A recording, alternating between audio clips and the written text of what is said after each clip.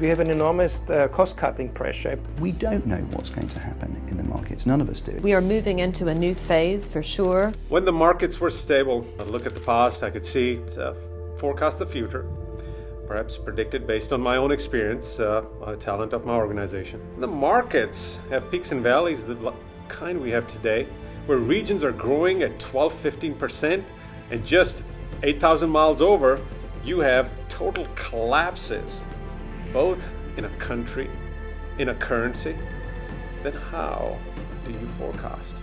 Can you even forecast? We have an enormous uh, cost-cutting pressure, a pressure to become more efficient. IT budgets are becoming smaller. So what comes to our rescue is uh, grand old AI, artificial intelligence.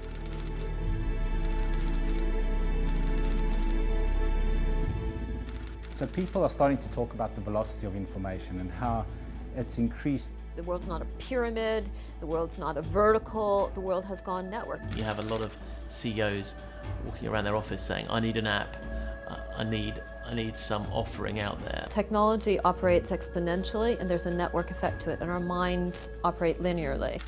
Television, the telephone, the mobile phone, Facebook and so forth, and a, it, it trends downward very, very fast because technology is overcoming. It, it, it, expands into our lives faster than we can really absorb and digest it. So that's why if it feels overwhelming, yes, it, it is. Because the world is becoming ever more difficult to understand what the future is going to look like, and people need to turn, consumers need to turn to people and say, help me with this because I don't understand this at all. So the question we have to ask ourselves is, will it be like in the Middle Ages, where there were a couple of monks who wrote things down, and that was it. And the rest that was said and happened is just lost for us. Or uh, will we be able to handle this huge amount of data? Data and information is appearing and being created on such a real-time, rapid basis. And if it's starting to affect the markets and the share prices, then how are we going to respond in an equally real-time, proactive way? One of our customers used to say, he or she who owns the data wins. Now they say he or she who exploits the data wins. And I, and I believe that's true. So to have automatic recall of your prior experience and to be able to apply that to making a decision in real time at this moment by someone on the front lines is, in, is priceless. So this was actually a measure um, uh, on the national security side where um, I love to say the number, it's 500,000 times faster.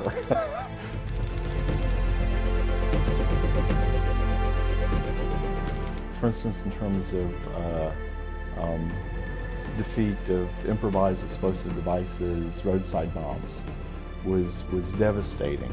Uh, for instance, in Iraq in uh, 2004 up into 2005.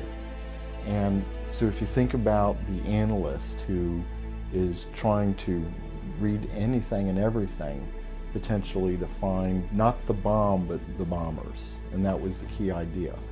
Um, they were still faced with uh, having massive amounts of possible data.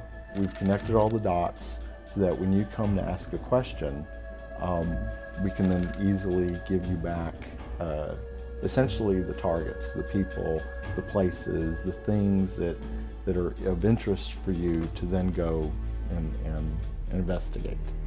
We create learnings. It's then critical that you take those learnings into market. CEOs are going to be walking around saying, I want an app, I want a mobile website, but ev eventually it's going to click that that's just not good enough. What you will need is some way to be able to talk to your consumers and deal with them on the move. When you walk into something like Ted Baker, for example, can I point something on an EPOS system that tells me what I should be selling Neil because of his basket? Neil bought that product last week. What will he buy next week and the week after that? At what point will Neil churn?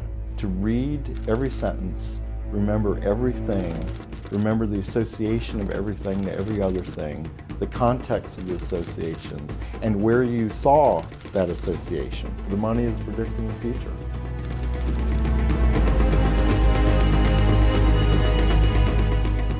So now we want to understand those uh, social networks. This is uh, not structured.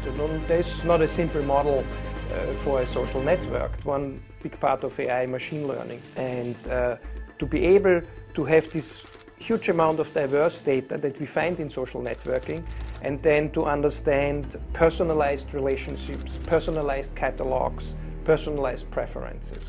Probably wouldn't be able to have a, a memory per person, but we could have group memories, people who have similar interests. But if you can anticipate, uh, particularly uh, whether that's uh, making the buy or the sell or the cash uh, decision.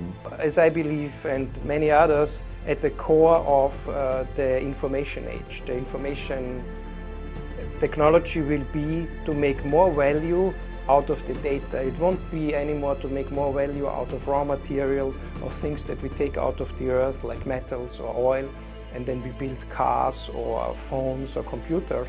Even if you're not sure, but you're anticipating what's possible.